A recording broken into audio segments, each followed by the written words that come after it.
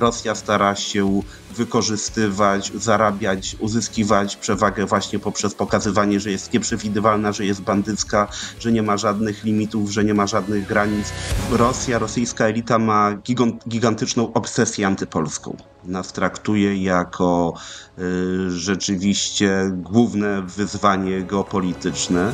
To są mapy rysowane przede wszystkim po to, aby zbudować powszechne przeświadczenie, że czegoś takiego jak Ukraina nie ma. Jak gdyby śmiejąc się z pijanego Miedwiediewa i jak gdyby pewnego sposobu formułowania oczekiwań terytorialnych przez Rosję, no też musimy mieć tyle głowy, że Rosja pójdzie tak daleko, jak będzie w stanie pójść. To, to za Olzie wyrosło w propagandzie rosyjskiej naprawdę do kształtów monstrualnych i wykorzystywane jest jako świadectwo polskiej dwulicowości i tak naprawdę tego, że rozpoczęliśmy konflikt światowy, a być może Polska przecież i trzecią wojnę światową rozpocznie, jeżeli nadal będzie zabiegała o wspieranie Ukrainy i sama ją wspierała.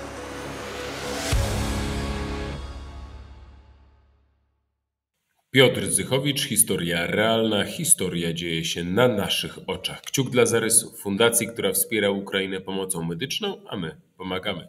Kciuk dla Legimi, biblioteki cyfrowej, która prowadzi akcję Czytamy dla Ukrainy i 10 zł z każdej książki idzie dla Zarysu. Kciuk dla KFD, polskiego producenta żywności funkcjonalnej i suplementów diety. K jak KFD, literki mają swoje znaczenie. I last but not least, Speakly, Aplikacja do błyskawicznej nauki języków obcych sam używam i polecam. Zachęcam do subskrybowania naszego kanału i lajkowania filmów. E, drodzy Państwo, historiarealna.pl to jest nasza księgarnia internetowa, gdzie możecie kupić nową książkę, którą napisałem razem z Jackiem Bartosiakiem Wojna o Ukrainę, wojna o świat. I przypominam, że już w piątek razem z Jackiem będziemy na targach książki w Poznaniu. Zapraszam wszystkich na spotkanie. Wstęp wolny, godzina 16. A moim i Państwa gościem jest pan Adam Eberhardt. Dzień dobry. Dzień dobry, witam serdecznie. Wszystkiego dobrego na nowej drodze życia, bo właśnie zmienił Pan e, pracę. Jest Pan teraz y, wicedyrektorem Studiów Europy Wschodniej Uniwersytetu Warszawskiego, tak? No, dziękuję serdecznie. To jest instytucja, legenda, trwająca już od ponad 30 lat. Ja sam z nią jestem związany od ponad ćwierćwiecza Studium Europy Wschodniej to i projekty różne międzynarodowe, i wydawnictwa liczne, no i oczywiście edukacja, więc dla młodzieży nas oglądającej polecam się zapoznać z ofertą. Ostatni raz, jak rozmawialiśmy w historii realnej, to nie wiem, czy pan jeszcze nie był szefem Ośrodka Studiów Wschodnich. Mm, także trochę czasu minęło. Bardzo dziękuję, że przyjął Pan zaproszenie. A ja chcę Państwu powiedzieć, że to dziwne miejsce, w którym jestem, znane widzom historii realnej, którzy oglądali nas na początku, to jest hotel e, Sowienie Królewskie, a ja musiałem szybko się tu przemieścić. Całe szczęście mam po drodze, bo prąd wyłączyli u mnie w domu dzisiaj na dwie godziny bez ostrzeżenia, więc gramy e, w nowych, w trochę innych warunkach niż zwykle. Dzisiaj, drodzy Państwo, z naszym gościem będziemy rozmawiali o zdumiewającej mapie Miedwiediewa, w której dokonał były prezydent Rosji rozbioru Ukrainy, między innymi między mm, kawałek się dostał Polsce, ale zanim mm, to, to chcia, przejdziemy do rozmowy, to chciałbym mm, poprosić Pana o opinię e, a propos e, firmy odzieżowej rosyjskiej, e, która promuje swój nowy produkt stalinowski kitel. Nie wiem, czy Pan widział ten film, tą reklamę. Nie, nie, to nie, nie widziałem, ale domyślam się, ponieważ poziom militaryzacji, pewnej takiego szaleństwa, jeżeli chodzi o Rosję, jeżeli chodzi o gloryfikowanie już nawet nie tylko wojny, ale gloryfikowanie śmierci, absolutnego posłuszeństwa. Nawet nie wiem, czy pan redaktor zauważył, ale Dmitrij Miedwiediew, jak tą swoją mapę, o której zaraz mamy rozmawiać, prezentował, to nawet był w takiej tunice jak Kim Jong-un y, y, ubrany. To, to Zauważyłem, zauważyłem. Natomiast to jest śmieszna sprawa, bo y, ten model, czy ten facet, który to promuje, chodzi po ulicach zniszczonego Mariupola i Siewierodoniecka w takim białym, wie pan, e, marynarce jak Stalin. I to jest, y, ma być nowy krzyk mody, ten stalinowski kitel, tylko problem polega na tym, że kosztuje to w równowartość 6,5 tysiąca złotych, ta kapota. Natomiast 150 tysięcy rubli. Natomiast co oni mają w głowie? Bo ja sobie od razu wyobrażam taką historię, żeby w Niemczech jakaś poważna firma wyprodukowała hitlerowski kitel i próbowała sprzedawać ludziom stylizowaną jakąś, jakieś ciuchy na Hitlera. Przecież to jest, to jest chore. No tak, ale to oczywiście wiadomo, że na wojnie się zarabia. To po, po, pierwsze zarabiają ci, którzy przejmują kapitał firmy zachodnie, które się wycofują z Rosji.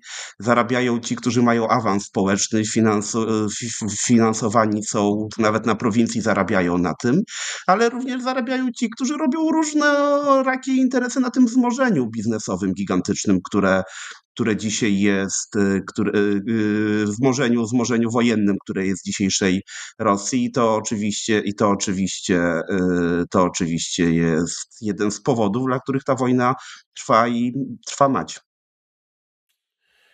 No dobrze, drodzy Państwo, dla mnie, dla mnie ten cały kult Stalina, przypomnę, że Stalin wymordował miliony Rosjan, jest w ogóle jakimś, jakimś kompletnie nienormalny. Natomiast już przechodzimy do rozmowy, tylko jeszcze, e, Panie Doktorze, najważniejszy kciuk historii realnej dla widzów. Dziękuję Państwu, że oglądacie nasze kolejne odcinki, że nas wspieracie na Patronite i na YouTubie.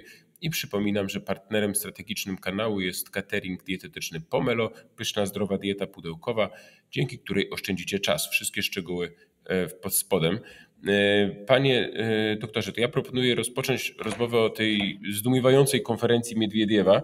Dodam, że ona miała miejsce w towarzystwie Wiedza, gdzie Miedwiediew właśnie w tym dziwnym stroju wystąpił. On pokazał mapę i może byśmy ją przeanalizowali, bo co ciekawe, e, w rozbiorze Ukrainy, który on sugeruje, wzięłaby udział Polska, Rosja, ale jeszcze Rumunia tu się zaplątała. Gdyby pan mógł przedstawić tą mapę, o co w ogóle chodzi? No i Węgry tradycyjnie, prawda? Bo to znaczy to chodzi o co chodzi? Chodzi oczywiście o szukanie, szukanie wspólników zbrodni, to znaczy budowanie zarówno na użytek wewnątrzpolityczny, jak i y, w świecie takiego przeświadczenia, że Ukrainy to właściwie nie ma, że Ukraina była jakimś państwem sezonowym, które y, właśnie ulega y, zniszczeniu, które no jest oczywiście problem Kijowa, bo to tylko obwód kijowski został zachowany w barwach ukraińskich. Natomiast y, nie tylko Rosja chce się pożywić na, y, na, na, na, na Ukrainie, ale również rzekomo wszystkie państwa y, sąsiedzkie. Tak więc, tak więc oczywiście Polska została tam hojnie obdarzona Rumunia dostała obwód czerniowiecki, taki dziwnie wychodzący ku północnemu wschodu obwód winnicki. No i, i tradycyjnie, tradycyjnie Węgrom y, przypisano Zakarpacie. To też jest oczywiście ciekawe, bo, bo całej takiej mam wrażenie przestrzeni w debacie, w dyskusji na temat węgierskiego rewizjonizmu, na temat tego sojuszu taktycznego rosyjsko-węgierskiego, to Zakarpacie zawsze jest pokazywane jako jakby było całe zamieszkałe przez Węgrów i było absolutnie domeną wpływu węgierskich. No pamiętajmy, że 80% Zakarpacia to jednak Ukraińcy, Rusini, y, Węgrów tam jest raptem 10-12%, 100 y, tysięcy 150 tysięcy y, y, y, ludzi, ale, ale na potrzeby Miedwiediewa, rosyjskiej propagandy, to oczywiście podział, podział Ukrainy ma wyglądać jako coś, co, co, co wcześniej czy później się wydarzy. Jedna rzecz zwróciła moją uwagę, bo naprawdę przyglądałem się tej mapie, że mm, do tej pory, jak Rosjanie, o czym zaraz będziemy mówili, proponowali Polsce w jakiś, na rozmaite sposoby sugerowali rozbój, rozbiór Ukrainy, to dawali nam były granice II Rzeczypospolitej, czyli Galicję Wschodnią i Wołyń. Teraz dostaliśmy więcej, bo również Żytomierz e, z tej mapy wynika. Obwód, obwód żytomierski Chmielnicki, tak? No, Żytomier, Żytomierszczyzna to właściwie jakby tak chwilę, jeżeli chcemy zostawić Miedwiediewa na boku i na poważnie rozmawiać, jest akurat obwód na Ukrainie, gdzie liczba Polaków jest największa, bo to są ci Polacy, którzy w okresie międzywojennym y, byli, jak gdyby nie znaleźli się w granicach ryskich, zostali w Związku Sowieckim. Oni różne, różne mieli tam okresy. Był okres względnej liberalizacji, wtedy, kiedy tam stworzono autonomiczny autonomiczny okręg Marchewszczyzna. Potem, potem przeżyli koszmar, ponieważ operacja polska NKWD, właściwie operacja antypolska NKWD ich, NKWD ich do, do, dotknęła i, i, i Polaków tam rzeczywiście w obwodzie żytomierskim zostało, no ale to jak gdyby rozmawiamy, rozumiem, w oderwaniu zupełnie od, od chorych od chorych pomysłów propagandy rosyjskiej, która, jak mówię, no, próbuje wszystkich ubrać w zbrodnię, która sama popełnia. Tak, aczkolwiek oczywiście fakt, że tam się znalazł Żytomierz, to moim zdaniem nie jest przypadek, bo przecież wszyscy wiedzą, że w Żytomierzu jest dużo Polaków.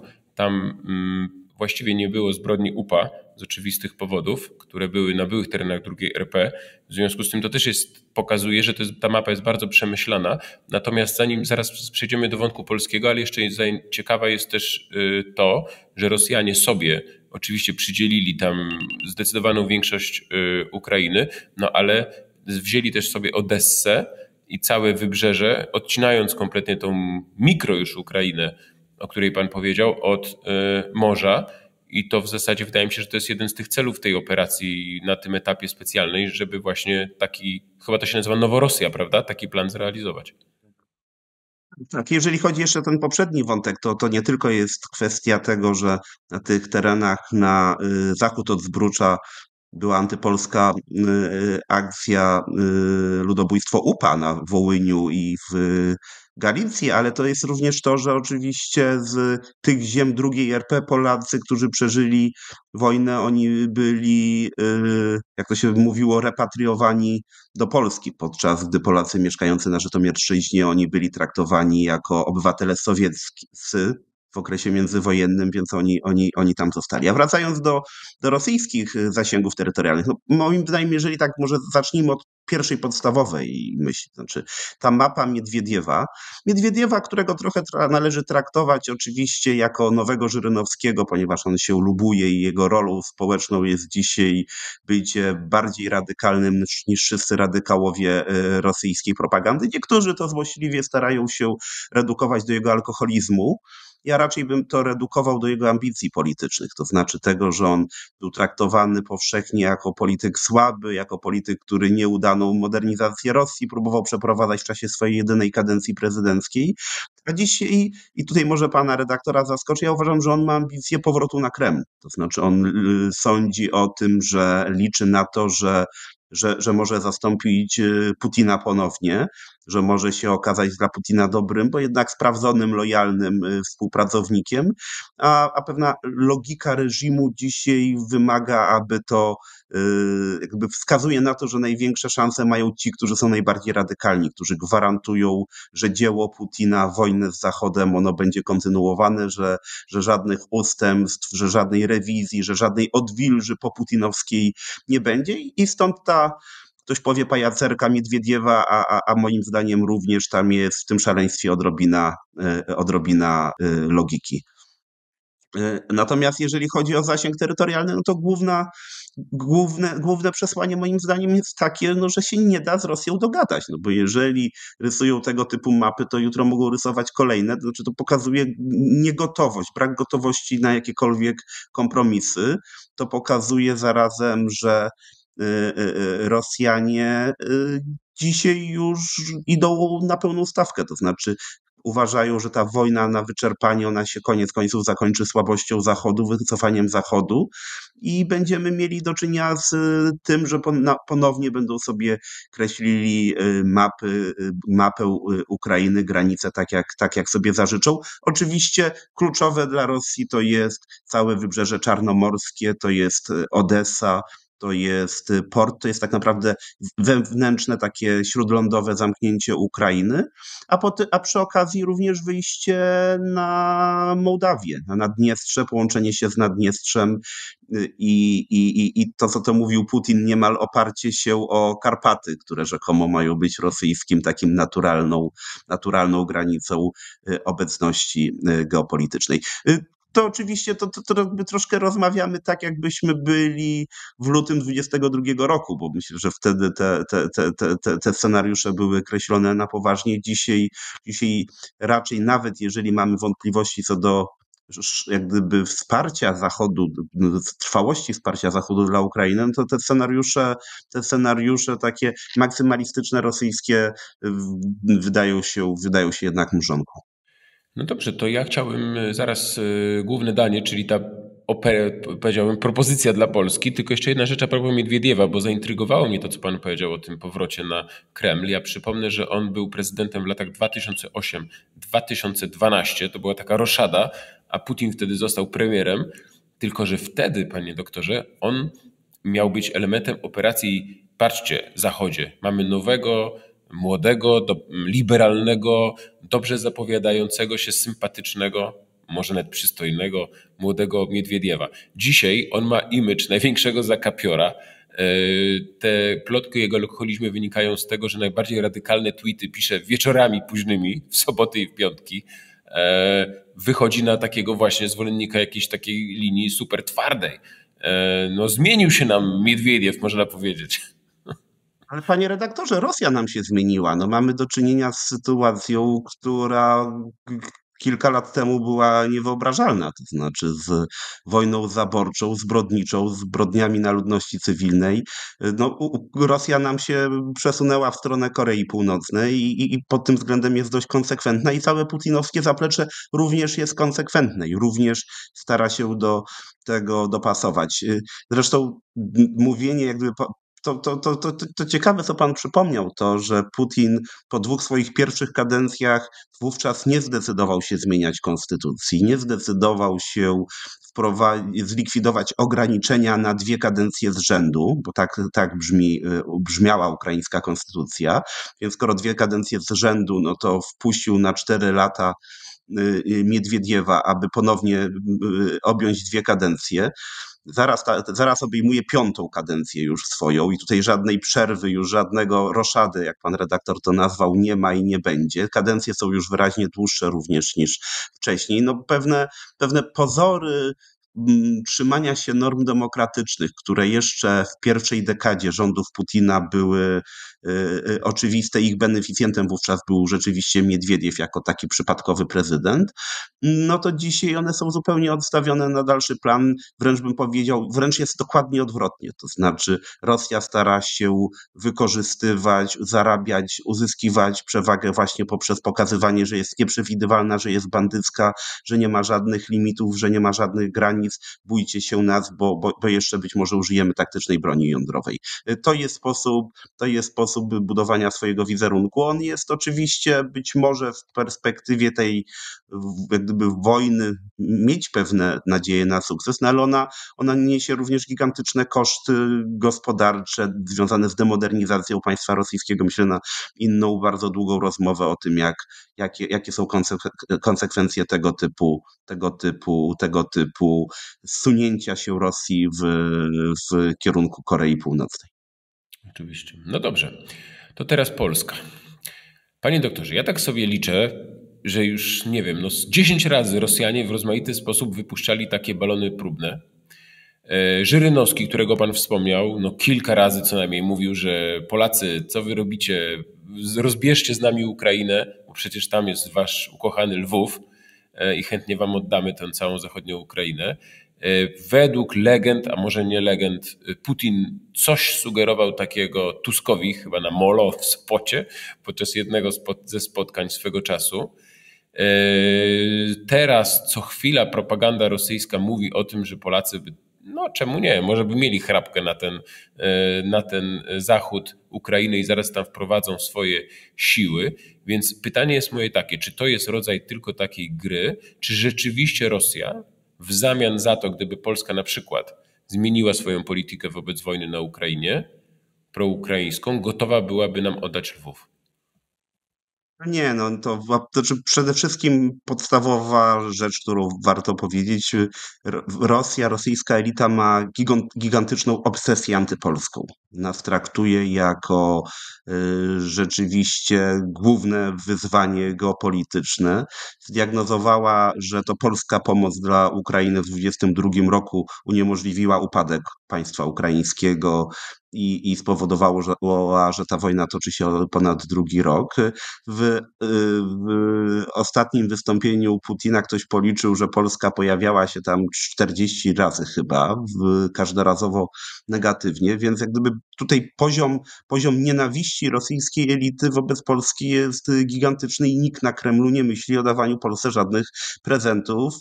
Y, pozostawiając na boku fakt, y, że to są prezenty, których Polska w sposób oczywisty y, nie chce i nie jest nimi w najmniejszym stopniu zainteresowana. To jest próba po prostu, to jest taki trolling Ukrainy, pokazujący po prostu, że państwo ukraińskie nie ma przyszłości. I zresztą to Miedwiediew bardzo wyraźnie w swoim wystąpieniu powiedział, prawda? On się odwołał do książki, którą napisał swego czasu prezydent Ukrainy chyba Leonid Kuczma, y, Ukraina to nie Rosja, był tytuł tej, tej książki, jak gdyby z, zaczął wykrzykiwać Miedwiediew o tym, że właśnie tak, że Ukraina to Rosja bezapelacyjnie i, i pod, każdym, pod każdym względem i każdy w to, w to nie wierzy, to się o tym wcześniej czy Y, później przekonam. A jeżeli chodzi o rosyjskie propozycje, które oczywiście były takimi próbowa- y, prowokacjami y, w, w, w typowym kagiebowskim stylu, to, to rzeczywiście to, co jakiś czas temu, ja już nie pamiętam, w którym roku się pojawiło, to, była, to było pismo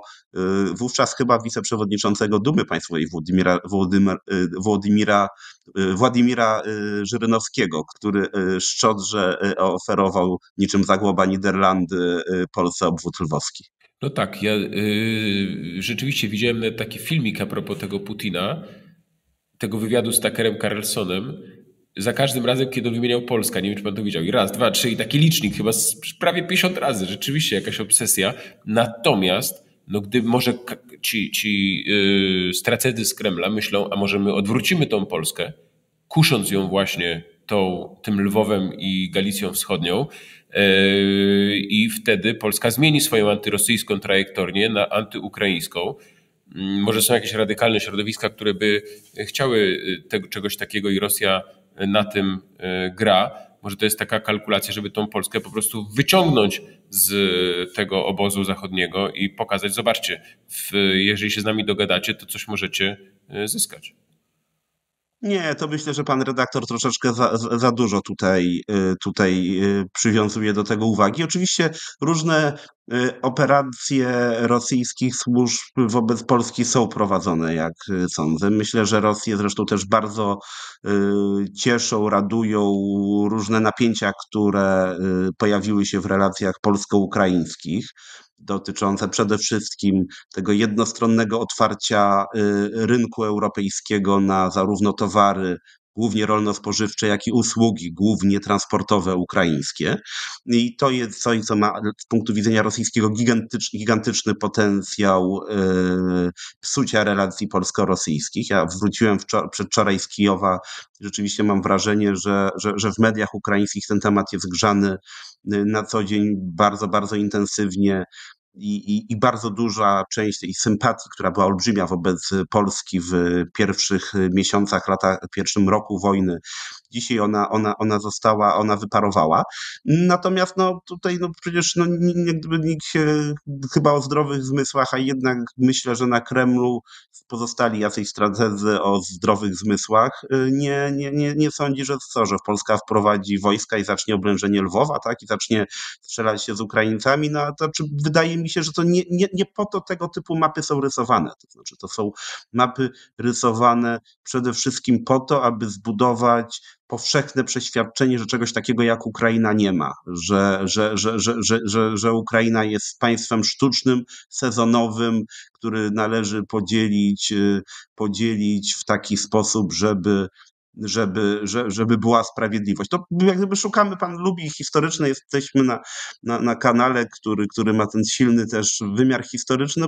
Proszę pamiętać, jak, jak Hitler yy, formułował retorykę wobec Czechosłowacji. Nie tylko mówił o Niem, Niemcach, którzy są mm, w kraju Sudetach prześladowani, ale budował właśnie prze, prze, przeświadczenie, że Czechosłowacja to więzienie narodów, prawda, różnych narodów y, i Polaków, i, i, i Węgrów, i, i, wszystkich innych dookoła. Y, to, to jest sposób raczej budowania, to jest, to jest rosyjskie myślenie. Mhm. Przepraszam, panie doktorze, ta analogia w naszej dyskusji dzisiejszej ma ten minus, że wtedy nam skapnęło za Olzie. No i pytanie, pytanie, pytanie o sensowność tego, tego, tego działania z punktu widzenia losów Polski w następnych miesiącach. Tak, Zresztą ja bardzo to ciekawe jest, bo to, że nam skapnęło, jak pan redaktor mówi, za Olzie, dzisiaj jest bardzo często wykorzystywane również przez rosyjską propagandę. Znaczy, tak rosyjska polityka historyczna buduje przekaz, że tę wojnę, że drugą wojnę światową tak naprawdę nie Hitler zaczął, tylko tak naprawdę tę drugą wojnę światową zaczęły mocarstwa zachodnie, które yy, zatwierdziły dyktat monachijski oraz Polska, która zaatakowała Czechosłowację i zajęła y, Zaolzie. To, to, to Zaolzie wyrosło w propagandzie rosyjskiej naprawdę do kształtów monstrualnych i wykorzystywane jest jako świadectwo y, polskiej dwulicowości i tak naprawdę tego, że rozpoczęliśmy konflikt światowy, a być może Polska przecież i trzecią wojnę światową rozpocznie, jeżeli nadal będzie zabiegała o wspieranie Ukrainy i sama ją wspierała. Tak, ja myślę, że też jest jeszcze jedna zasadnicza różnica między Zaolziem a Lwowem. Ich to musi chyba mocno wybrzmieć, bo nie wiem, może ktoś w Polsce, komu się podobają takie mapy. Otóż, drodzy Państwo, na Zaolziu e, polskie oddziały witali Polacy, rzeczywiście, którzy tam mieszkali. Dzisiaj w Lwowie Polaków właściwie już prawie nie ma. E, ja kocham Lwów, powiem Panu, Panie doktorze. Byłem, nie wiem, 20 razy w Lwowie.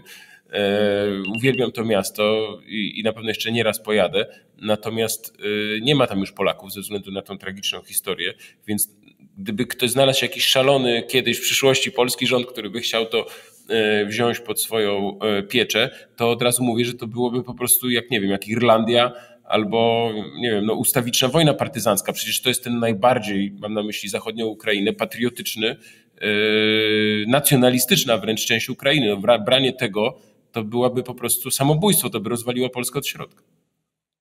Tak, oczywiście, że tak. To, to zresztą też jakby jak się buduje różne scenariusze historii alternatywnej, to myślę, że scenariusz, w którym województwo lwowskie zostałoby po II wojnie światowej w ramach państwa polskiego, Mm, ale bez, bez wymiany ludności z mniejszością ukraińską, to rzeczywiście jakiś scenariusz na Bośnie, na, na, na Bałkany na początku lat 90. Natomiast może też warto jedną rzecz, jak pan mówi o Lwowie, które ja także bardzo, bardzo lubię i staram się pomimo toczącej się wojny być tam bardzo często i bardzo często jestem. Znaczy, znaczy rzeczywiście z jednej strony to jest Galicja, nacjonalizm, czarno-czerwone y, flagi, z drugiej strony bardzo dużo y, odnowionego miasta, gdzie y, pielęgnuje się każdy właściwie element historii międzywojennej, napisy po polsku, knajpy z, odwołujące się również do kwestii jakoś tam do, do polskości. Właściwie każdy starający się mówić w języku polskim, to, to, to wszystkie sondaże, które zawsze na Ukrainie powstawały, wskazywały na coś, co dla niektórych może być pewnym paradoksem. To znaczy na Ukrainie Zachodniej, gdzie najsilniejszy był ten nacjonalizm, odwoływanie się do UPA, Bandery. Zarazem y, najprzychylniejszy był stosunek do Polski, bo Polska była blisko, bo Polska była znana, bo do Polski jeździli, bo na Polsce zarabiali, bo w Polsce pracowali, a ci, którzy byli y, najbardziej zdystansowani wobec Polski, to zawsze były obwody wschodniej Ukrainy, które w dużo większym stopniu oglądały media rosyjskie, telewizję rosyjską i, i, i gdzie tam sączona była ta antypolska y, propaganda. Ci, ci ludzie sowieccy, oni byli zawsze na Ukrainie dużo bardziej strzemięźliwi wobec y, Polski niż, niż na nacjonalistycznej Ukrainie Zachodniej. Od taki paradoks. Hmm, tak, to ciekawe. Ja muszę powiedzieć, że tych moich podróżach, ja pierwszy raz byłem jeszcze pod koniec lat 90., to była jedna wielka ruina, co tu dużo mówić, Lwów. Bardzo się zmienia, ale rzeczywiście te knajpy, drodzy Państwo, jest taka jedna, nie będę mówił nazwy, bo nie będę promował jej, ale w środku jest Szczepcio i Toncio, muzyka puszczona.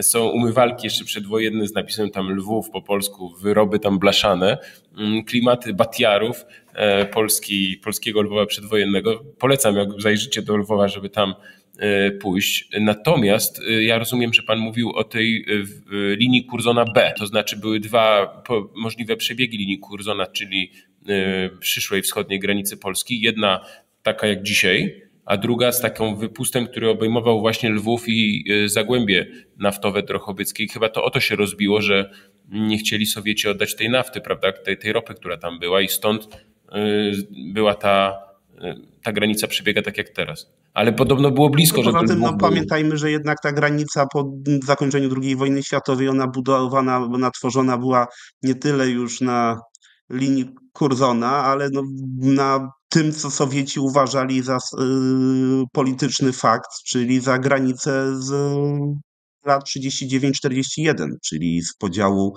y, Ribbentrop-Mołotow, Hitler-Stalin, który, która, to, która to granica była właściwie jeszcze gorsza niż, niż dzisiejsza granica, prawda? Bo to, bo, bo to jest kwestia y, Podlasia, Białego, Stoku, Łomży, to jest kwestia nawet Przemyśla, który y, pamiętajmy w okresie 39-41 był podzielony, podzielony na pół wzdłuż Sanu.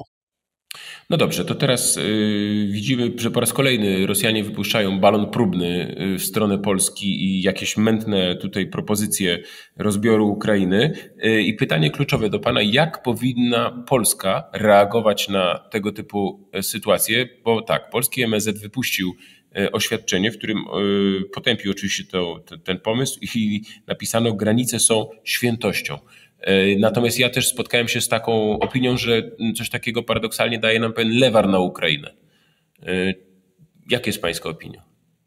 Nie, no moim zdaniem w naszym interesie jest to, żeby granice były świętością i, i to, żeby Rosja nie szukała takich retorycznych wspólników w swoich zbrodniach, prawda? Propagandowych y, wspólników, aby, znaczy to, to, co jest, y, to, co jest intencją tego typu intryg rosyjskich, to jest y, budowanie panświnizmu, czyli przeświadczenia, że wszyscy tak naprawdę naruszają prawo międzynarodowe i że wszyscy łamią normy i zasady, nie tylko Rosja. Rosja właściwie jest w tym wtórna, odpowiada na, na, na, na, na przestępstwa czy zbrodnie Zachodu. I, I to trzeba, jak gdyby poprzez pewien pryncypializm w kwestiach prawa międzynarodowego trzeba starać się tego typu retorykę rosyjską yy, wykolejać.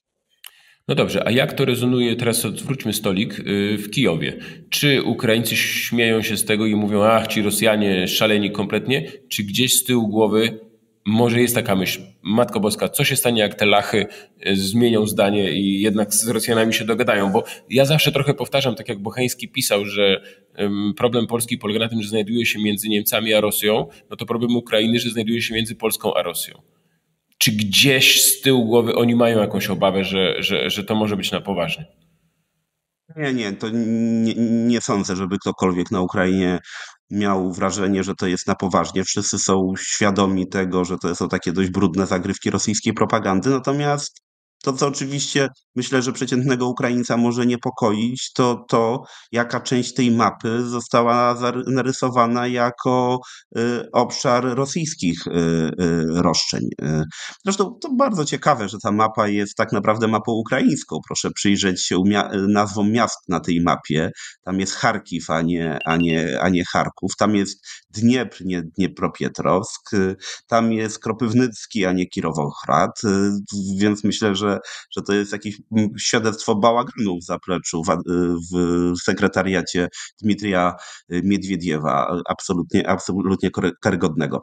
Myślę, że, wie pan, panie redaktorze, ja rozmawiałem z jedną z bardziej znanych osób na Ukrainie, ekspertów od spraw międzynarodowych, takich naprawdę tworzących opinie, i, i ta osoba mi mówi, Wiesz, ja taki mam problem, że przed wojną z mężem zaczęliśmy budować dom jednorodzinny pod Kijowem. Y, wydaliśmy w to bardzo dużo środków. No i pytanie jest, czy ja mam teraz te pieniądze, jak gdyby resztę swoich pieniędzy, wszystkich oszczędności mam y, wydawać w wykończenie tego domu, z perspektywą, że tam zamieszkamy, czy może się okaże, że to jest wyrzucanie pieniędzy w błoto, no bo wiadomo, właściwie nie wiadomo, jak ta wojna się zakończy, a jeżeli zakończy się źle, to w sposób oczywisty dla przedstawicieli elit ukraińskiej miejsca w Kijowie y, nie będzie, bo, bo, bo, bo, bo albo zostaną wymordowani, albo oczywiście będą musieli wcześniej, wcześniej uciekać. Więc y, to jak gdyby przy tym, jak gdyby, jak gdyby oglądając tę mapę i jak gdyby, jak gdyby śmiejąc się z pijanego Miedwiediewa i jak gdyby pewnego sposobu formułowania oczekiwań terytorialnych przez Rosję, no też musimy mieć tyle głowy, że Rosja pójdzie tak daleko, jak będzie w stanie pójść. Że Rosja i ta mapa jest takim poważnym, jeżeli próbujemy poważne wnioski z niej wyciągnąć, to ona jest taką przestrogą pokazującą, że nie da się z Putinem dogadać, że nie da się powiedzieć Putinowi weź Donieck i Krym i sprawa jest z głowy, dlatego, bo wówczas będzie chciał jeszcze Zaporoże i Hersońszczyznę, dostanie Hersońszczyznę, przejdzie na y, prawy brzeg Dniepru, to będzie chciał obwód y, Odeski, y, przejdzie, przejdzie do, gdyby zajmie Charków, to będzie chciał Dniepr, zajmie Dniepr, będzie chciał Połtawę, zabierze Charków, będzie chciał Sumy, zabierze Sumy, będzie chciał Czernichów i potem już, i potem będziemy słyszeli o tym, że Kijów to, to, to przecież stolica ruskich miast, gdzie państwo rosyjskie rzekomo się zaczęło. Nie ma, nie ma granic, nie ma ustępstw, nie ma kompromisów, które nie zostaną podeptane. No właśnie, ja myślę, że to jest klucz problemu. To znaczy, czasami yy, niektórzy mnie pytają, a jaki plan ma Rosja terytorialnie? A ja uważam, że to tak jak wyjdzie, to znaczy ma różne plany. Ma plany maksimum, ma plany minimum. Mi się wydaje, że w, w dniu wybuchu wojny dwa lata temu próbowała zrealizować plan maksimum, czyli zagrała o całą stawkę obalenie Zełęskiego i próba opanowania w jakiejś formie całej Ukrainy. E, teraz pytanie o co walczy, czy właśnie będzie się próbowała przebijać na Odessę. E, natomiast ta mapa pokazuje, że jednak część została dla tej Ukrainy zarezerwowana, te właśnie ten mały, tak jak powiedział sam obwód kijowski. E, czy jak Rosjanie według Pana wyobrażają sobie zakończenie terytorialne tej wojny, gdyby wszystko im poszło zgodnie z planem? To znaczy, gdyby rzeczywiście została jakaś kadłubowa Ukraina na zachodzie, nie mówię o rozbiorze, drodzy Państwo, żeby było jasne, to jest absurd, ale yy, no, gdyby im się udało, nie wiem, do Dniepru na przykład, o, zająć wszystko, to czy ta Ukraina, która by została, to co to by było? Odcięta od morza, pastewny jakiś kraj, który by był uzależniony od Zachodu, czy protektorat rosyjski? Jakby Pan to widział? Jakie nie mają w ogóle Myślę, że tam są dwa sposoby myślenia. To znaczy, myślę, że z jednej strony jest pokusa anektowania terytorium, dlatego, bo Putin myśli o sobie w kategoriach podręczników historii tego, co, jak zostanie zapamiętane, a on ma, za, a, gdyby on ma taką, on jest taki mindset, sposób myślenia absolutnie historyczny, związany z mapą, to znaczy on, on, on, on widzi, widzi swojego poprzednika Jelcyna, za którego rządów, prawda, Rosja się, czy tam Gorbaczowa się skurczyła, a on jest tym, który zbiera na nowo ziemię rosyjskie i tyle i tyle tysięcy kilometrów kwadratowych zostało dołączone do, do państwa rosyjskiego. I myślę, że to jest ta pokusa anektowania kolejnych y, terytoriów, co oczywiście niesie się równie, niesie oczywiście ze sobą również koszty, no to, to wymaga potem dość zakrojonych na dużą skalę działań Federalnej Służby Bezpieczeństwa, jeżeli chodzi o terroryzowanie ludności miejscowej, jeżeli chodzi o, o, o pewien terror w dotyczący, dotyczący jakby próbę, próbę łamania Y, buntu i oporu. Mm, a, a, a z drugiej strony, obok tej logiki aneksyjnej jest logika po prostu zamienienia Ukrainy w Białoruś, czyli postawienia tam jakiegoś swojego Łukaszenkę. Takim pomysłem w 2022 roku był rzekomo Wiktor Medwedczuk, y, przyjaciel, przyjaciel Putina, były szef administracji prezydenta Leonida y, Kuczmy, agent rosyjskich wpływów na Ukrainie. On miał, on miał stanąć na czele y, fasadowej, y, zwasalizowanej Ukrainy. Dzisiaj wymarzony scenariusz rosyjski to oczywiście byłoby pewnie połączenie obu, obu logik, to znaczy wziąć jak najwięcej y, na południu, y, może też na wschodzie, to znaczy wziąć Odesę, anektować Noworosję, Małorosję, a jednocześnie z Ukrainy centralnej, większej niż obwód kijowski, stworzyć coś kontrolowanego, takie, tak, tak jak znowu ten Hitler nam się pojawia, prawda, takie generalne gubernatorstwo, niby formalnie nie włączone w skład Rzeszy, ale coś, co, co, co, co, gdzie, gdzie pełną, pełną władzę y, mają, mają, mają Y, Rosjanie. To, tylko to oczywiście są scenariusze, które moim zdaniem no by nie powstało takie wrażenie, że Ukraina już upadła, front się załamał, a Rosjanie sobie będą rysowali mapy tak jak, jak, jak w duszy im zagra. Nie, no to są wszystko takie scenariusze maksymalne, y, nadzieje, nadzieje, nadzieje y, kremlowskie związane być może ze zmianami na, w Stanach Zjednoczonych, powrotem Donalda Trumpa, zakończeniem wspierania y, militarnego i finansowego Ukrainy, załamaniem się wewnętrznym państwa ukraińskiego na skutek jakichś kontrowersji dotyczących tego, czy iść na kompromisy, czy nie iść na kompromisy. Jest jeszcze jedna rzecz, to znaczy myślę, że Rosjanie byliby zainteresowani być może y, trochę jak z polskimi rozbiorami, prawda? Później jak gdyby połykaniem Ukrainy częściowo. To znaczy, ja nie wykluczam, że Putin jest chętny na może być chętny na pewien kompromis, który traktować będzie absolutnie czysto instrumentalnie, taktycznie, jako pewien punkt do odpoczynku, przebudowania się, y, strawienia tego, co zabrał, jednocześnie szykowania się do kolejnej rozprawy, do kolejnej wojny, gdzie, gdzie weźmie więcej, gdzie, gdzie uzyska jeszcze lepsze warunki. Myślę, że to jest, to jest taka generalnie logika kremlowska. Pociągnąć wojnę jeszcze przez rok, dwa, uzyskać jak najwięcej się da, częściowo uznania aneksji, częściowo być może zmian wewnętrznych na Ukrainie i przygotowywać się do ostatecznej rozrywki po kilku kolejnych latach. No tak, ale takie y, pełzający rozbiór, czy też zjadanie Ukrainy po kawałku de facto trwa. Bo proszę zwrócić uwagę, że w 2014 roku y, capnęli Krym plus Ługańsk i Donieck, odsapnęli 8 lat, teraz znowu Zaporoże i zobaczymy jak ta wojna się skończy. I być może będzie trzecia, czwarta, piąta runda. I rzeczywiście, jak tak spojrzeć na to w ten sposób, to Ukraina y, traci po kawałku y, swojego terytorium. Y, może to jest plan. Tak, proszę zobaczyć, że jeżeli wejdę panu w słowo, że przecież Krym i Donieck też nie był brany na jeden raz. To gdyby w przypadku Krymu początkowo zwyciężył scenariusz aneksyjny, a przez pierwszych 9-10 lat y, wobec Doniecka scenariusz y, inkorporacyjny do Ukrainy. To znaczy Donieck, Krym został wzięty jako nagroda pocieszenia po tym, jak doszło do zmiany władzy y, na Ukrainie w Kijowie i Rosja zrozumiała, że nie będzie w stanie rządzić Ukrainy swoim Łukaszenką. Natomiast Donieck był traktowany jako jakby pomysł na wepchnięcie go z powrotem w skład Ukrainy tak, aby kontrolować Donieckiem całą całą Ukrainę. Taki był pierwotny scenariusz.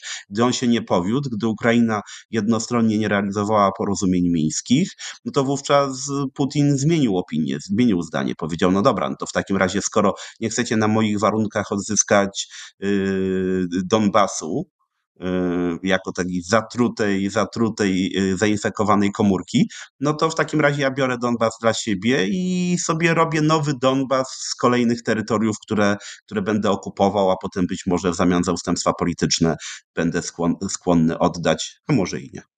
Hmm. No dobrze, to teraz pytanie o y, rzecz, o której rzadko rozmawiamy w historii realnej ale kiedy myślę sobie o takim olbrzymim zaborze, patrząc na tą mapę Miedwiediewa, to wyobrażam sobie od razu, co tam by się wyrabiało pod tym zaborem. To znaczy, mam na myśli opór ze strony ukraińskiej. I teraz do czego zmierzam? To znaczy, mam wrażenie, że Rosjanie trochę nie docenili siły nacjonalizmu e, czy też patriotyzmu ukraińskiego. I to się chyba zmienia na naszych oczach. To znaczy, ja pamiętam jeszcze czasy mm, Majdanu, Janukowycza, to kraj był podzielony. Pomarańczowa była połowa na zachodzie, no ale druga połowa była niebieska. Dzisiejsza Odessa, dziś Odessa, Krym, ten cały wschód po drugiej stronie Dniepru.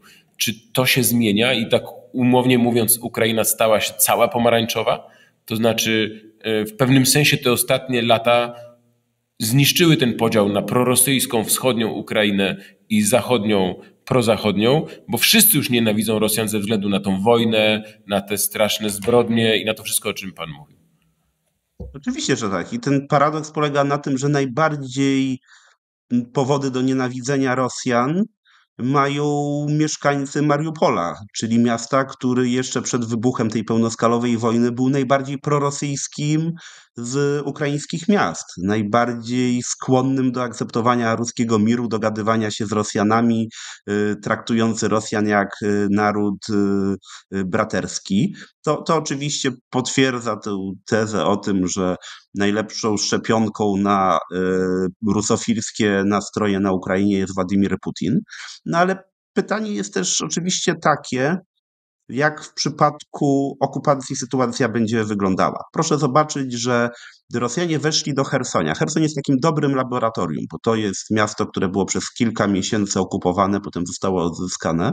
Znaczy, znaczy pierwsze tygodnie to rzeczywiście, to rzeczywiście były ciągłe protesty mieszkańców z flagami ukraińskimi, y, blokowanie czołgów nawet rosyjskich i tak dalej. I to potem z każdym tygodniem malało. To malało również w obwodzie zaporowskim okupowanym przez Rosjan, następnie anektowanym, mm, bo tam zaczynało działać FSB. Tam przychodziło po prostu, tam na, na zapleczu frontu przychodziło, przychodziło FSB, robiło listy osób, które jakkolwiek y, wykazują się odruchem proukraińskim, albo ich y, wsadzano do więzień, nagłaśniano to, aby jednych, jednych uciszyć, drugich zastraszyć dodatkowo y, i, i, i, i to działa. Proszę zobaczyć, nie ma właściwie jakiegoś wielkiego oporu na y, terenach y, okupowanych. Już nawet nie mówię o Donbasie, gdzie, gdzie, gdzie te rosyjskie porządki trwają od 10 lat i, i, i terror,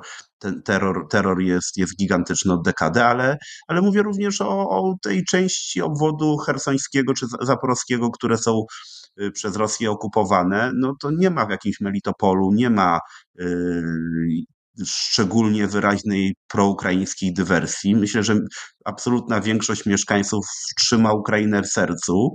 Z mężami, żonami rozmawiają o tym, jak jest źle mm, kuchni, natomiast no, tej nie ma, nie, nie ma miejsca specjalnie na, na, na, na buntowanie się przez Rosję. No i poza tym to chodzi oczywiście indoktrynacja wobec młodzieży, czyli oczywiście te rosyjskie programy szkolne, y, paszportyzacja wszystkich, bo jeżeli ktoś nie przyjmie rosyjskiego paszportu na tych terenach okupowanych, wcielonych jakoby do, skład Rosji, no to wówczas straci majątek, nie ma możliwości zatrudnienia, no to są takie represje wymuszające, wymuszające nie tylko to, aby ci ludzie siedzieli sobie w domu i, i, i nie krzyczeli, ale on, Rosja wymaga od nich tak naprawdę zapisania się, pisania się y, w rosyjskość. Plus bardzo ciekawe zjawisko, o którym rzadko się mówi, ale te tereny zniszczone, y, y, z których znaczna część Ukraińców uciekła w, przypadku, w obliczu rosyjskiej agresji,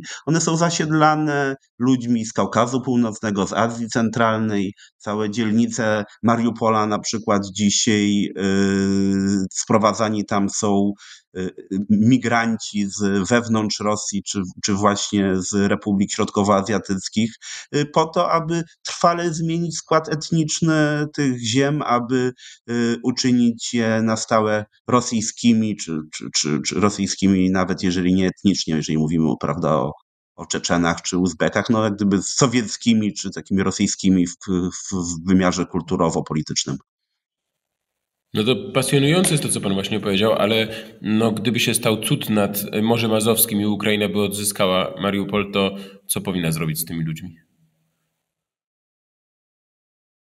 No, no nie wiem, znaczy, znaczy mówi, mówimy o sytuacji, w której Ukraina odzyskuje swoje, swoje y, ziemie, no to myślę, że akurat ci, ci, ludzie, którzy byli przywożeni, a oni ci, ci z kolei znowu uciekną. No, taka jest, taka jest brutalna, brutalna logika wojny. Zresztą myślę, że myślę, że, że, że perspektywy tego, i sobie możemy szczerze o to odpowiedzieć, perspektywy tego, aby Ukraina y, y, odzyskała wszystkie ziemie zabrane przez Rosję w ostatniej dekadzie, czy, czy nawet dwuleciu, one są dość nieduże. To by wymagałoby to głębokiego załamania wewnętrznego Rosji, nowej wielkiej smuty rosyjskiej, y, która oczywiście nigdy nie jest, tego typu scenariusz nigdy w Rosji nie jest wykluczone, bo w Rosji, jak się już nauczyliśmy przez setki razy, wszystko jest możliwe. Wszystko jest niemożliwe, a zarazem wszystko jest możliwe. No dobrze, jeszcze ja chciałem powiedzieć a propos tego y, takiego dziwnego dwójmyślenia Rosjan, to jest to, że oni idą do tych terenów, które zajmują jako wyzwoliciele rosyjskojęzycznej ludności spod jarzma y, ukraińskiego reżimu. I na przykład tak mówili w Chersoniu, o którym pan wspomniał, zrobili tam przecież referendum, przyłączyli ten Hersoń do Federacji Rosyjskiej, a potem, kiedy Ukraińcy ich wypchnęli za Dniepr, to ostrzelali ten Hersoń z, i ostrzeliwując co jakiś czas z artylerii, bijąc po tych swoich rodakach, których mieli ich wyzwalać. I to samo ostatnio, dosłownie kilka dni temu, był straszny nalot, no, zbrodnia potworna, uderzyli w blok w Odessie i tam dzieci, drodzy Państwo, w ogóle zginęły, a przypominam sobie, że jeszcze w roku 14 Odessa była niebieska, głosowała na partię regionów, i tam nawet dochodziło do zamieszek i tam w tym słynnej to w Odessie właśnie zwolennicy Ukrainy spalili żywcem tych rosyjskich aktywistów w jakimś merostwie czy coś takiego. To pokazuje, jak się strasznie zmieniła Ukraina przez raptem dekadę. Jak się strasznie zmieniła Rosja przez raptem dekadę. To znaczy, jaki, jaki gen zbrodniczy wy, wyszedł z elity rosyjskiej. No i to niestety też, jak gdyby po społeczeństwie rosyjskim możemy mówić wiele o apatii, o tym wycofaniu się z polityki, mm, o tym, że ta lojalność jest kupowana różnymi transferami finansowymi, no ale też mamy bardzo dużo do czynienia z pewnym takim politycznym kibolstwem po stronie rosyjskiej. My rozpoczęliśmy rozmowę od tego od pijanego Miedwiediewa, prawda, jego, jego mapy, jego wystąpień, ale proszę zobaczyć, tam, tam, tam, tam tłum młodzieży siedział, który bił brawo. Myślę, że bardzo dużo, bardzo dużo Rosjan bije brawo y, y, mapom, które są rysowane w rosyjskiej telewizji, bo to są, bo, bo, bo, bo, bo, są nauczeni, że wielkość Rosji nie zależy od tego, czy dobrze działa gospodarka, czy jest modernizacja, czy jest y, bieżąca woda w kranie, tylko wielkość i ich szczęście zależy od tego, jak, jak wyglądają granice terytorialne państwa rosyjskiego, czy ono się kurczy, czy ono się rozszerza. I, i, i to jest, to, to, to jest ta dawka Mm, trucizny, która jest sączona mapkami Dmitrija Miedwiediewa. To jest próba przekonywania Rosjan, że są kibolami w świętej wojnie przeciwko Zachodowi, gdzie Ukraina tak naprawdę nie istnieje, bo o jakiej my, o jakiej my Ukrainie mówimy, to, to, to nawet jeżeli my całej Ukrainy nie weźmiemy, to, trochę, to częścią podzieli się Polska, która jak dobrze wiadomo jest amerykańskim pionkiem w tej szachownicy. No dobrze, to już ostatnia sprawa, jeżeli chodzi o tę y, całą historię, y, to y, polityka Ukrainy, bo no nie ma co ukrywać, zmiany zmianami i wzrasta przywiązanie ludności wschodniej Ukrainy do swojego państwa, dzięki Rosji między innymi, no ale faktem jest to, że na wschodzie Ukrainy się mówi po rosyjsku. I teraz są dwa, dwie możliwości rozwiązania tego problemu. Albo stworzenie takiej kategorii ukraińskiego patrioty, który mówi po rosyjsku, albo próba takiego trochę dwudziestowiecznego, tego co Polska próbowała robić e, ze swoimi Ukraińcami w II Rzeczypospolitej, czyli ukrainizacji, my wtedy polonizacji, ukrainizacji tych ludzi.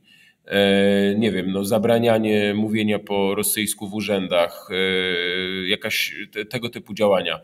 Który według Pana z tych podejść powinna Ukraina realizować, żeby tych ludzi dla siebie e, pozyskać? Ukraina musi to robi właściwie, yy, usunąć, zrobiła właściwie, usunąć język rosyjski ze szkolnictwa, usunęła język rosyjski z telewizji, dubbingowane są również filmy rosyjskojęzyczne w ukraińskiej telewizji, jeżeli się jakiekolwiek pojawiają, bo właściwie chyba już jest teraz zakaz na nie jakikolwiek wycięła z popkultury muzykę rosyjską, rosyjskojęzyczną. Tego, tego nie ma. Oczywiście bardzo wielu Rosjan, przepraszam, bardzo wielu Ukraińców mówi, posługuje się e, językiem rosyjskim. Niektórzy, i to też jest bardzo częste zjawisko, niektórzy w domu mówią ze sobą po rosyjsku, ale jak już wychodzą na miasto w przestrzeni publicznej, to używają języka państwowego. To nie jest kwestia strachu jakiegokolwiek. To jest raczej kwestia takiego poczucia patriotycznego zobowiązania, że w miejscach publicznych.